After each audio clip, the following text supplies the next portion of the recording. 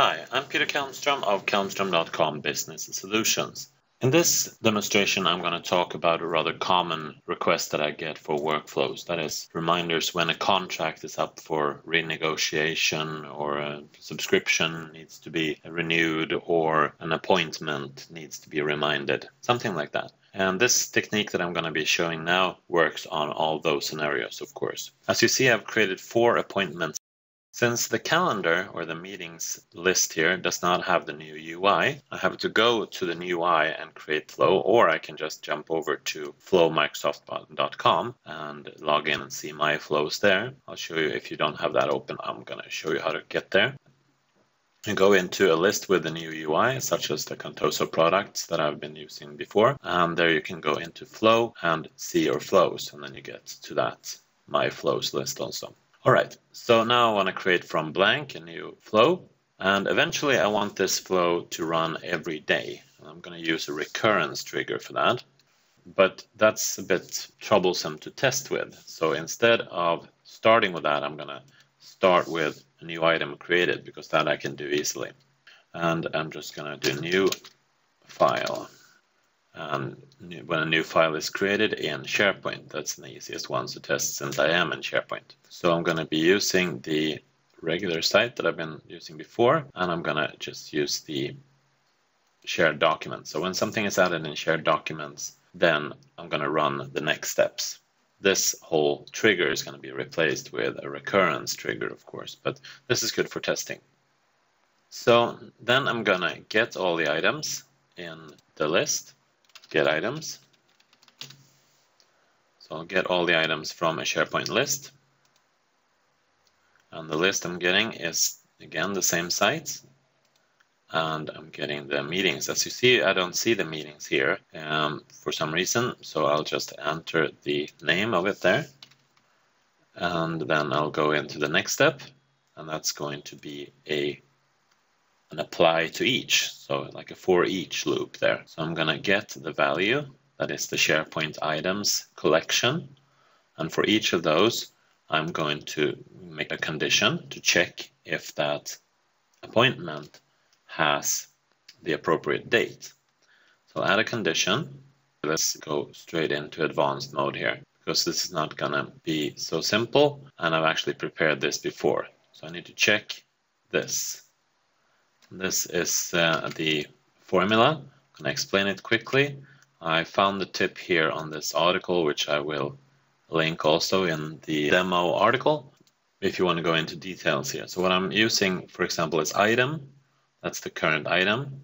And then the name of the column that I'm checking, event date in this case. And I'm taking the first characters of that, which will be the ISO formatted date. And then I'm using the out UTC now function I'm comparing those two. So this condition will be true in for two of those items, the two items that are today, right? So, and then I'm going to add an action if that's true. Add an action there if yes. If those are true, then I'm going to send an email and using Office 365. And I'm going to just send that to myself for now and then specify a subject and a body. So I'm going to just call it meeting reminder and get the title of this appointment. There we go, put that in there. Make sure I have a space in between there. There we go. And just like a body, please prepare something like that. But of course you can be, make that dynamic also. So that's all I'm going to do now. Let's just collapse that now.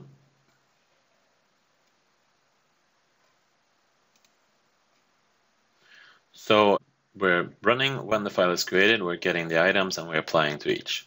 And the apply to each is, of course, the send email. So let's make this a bit more easy to understand. Send emails. On this condition, we can change that to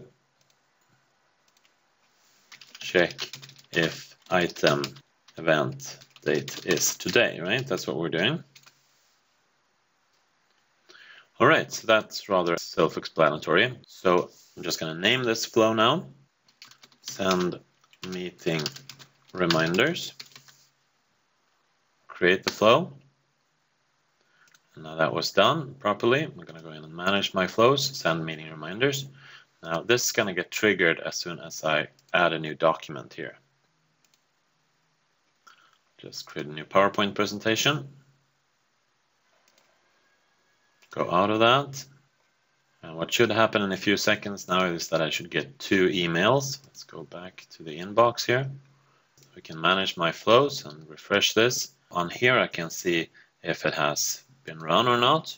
There we go, 25 seconds ago it started and it took 4 seconds. So that's the, the first document. So it did work the first time. Meeting reminder number 3. Let's go to my inbox and see what happened. That was number 3 and number 2. So those got sent as they should.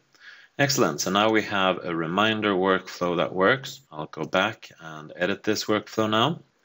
And I'll remove this trigger when a file is created. I don't want that. And instead, I'm going to add another trigger, which is a recurrence. And that should be run once a day. And then I can go and say when exactly it should run, what time uh, zone and what start time. But I think you get the, the point. I don't have to fill out those then. It will run anyway without those. But I think you understand the concept. And now that's going to run once a day. So there we have a reminder workflow. And as you see, it's using a reminder and then it's SharePoint to Outlook. So that little icon there explains what's going on. Thank you for watching this demonstration.